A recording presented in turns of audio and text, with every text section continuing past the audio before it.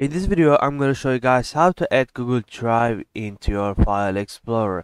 It's really easy and simple to do guys. I'm going to show you step by step how to do it. But before I show you though, like the video and subscribe to the channel if you find this video helpful. So let's get right into it. First thing you want to do is you want to go to this uh, link google.com forward slash drive forward slash download. Um, I will probably forget to include this in the description of this video so you just have to manually type it. So and then you're gonna arrive at this page. Here you're gonna see this blue button that says download drive for desktop. You wanna click on it. Just like that, and then it's gonna start downloading the executable file. So we gotta wait a couple seconds here.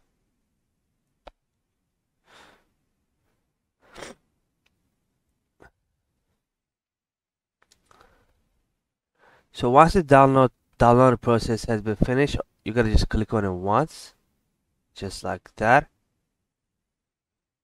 And then you have to click on the yes button. Um, you can get a shortcut if you want. I'm gonna just make check this as well. Uh, Edge uh, desktop shortcuts to Google Docs, Sheets, and slide I'm gonna uncheck this because I don't need I don't need them. But if you do, you can just check it as well. And then I'm gonna click the install button like this. Google Drive successfully installed. You want to click the launch button.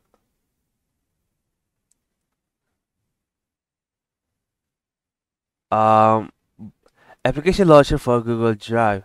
Uh, you gotta enable the extension as well, just like that. And then let's get back to the um, Google Drive. Here you want to click on Get Started.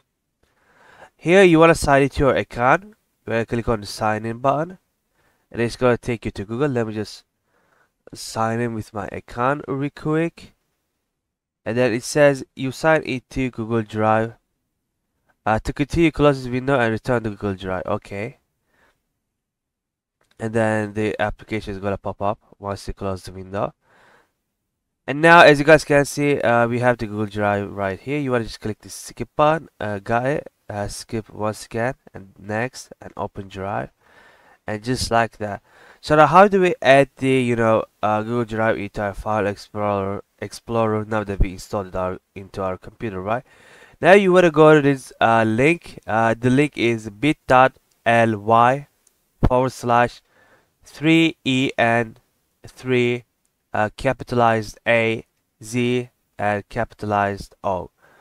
So you want to just type that out and then click enter it's to download this file called add Google Drive to navigation panel. You want to just click on it and then click the run button. And then you want to click yes once again. And then it's to pop up uh, this uh, warning um, window. You want to click yes once again and then okay. Now when I go to my file explorer guys, you're to see Google Drive right here as you guys can see.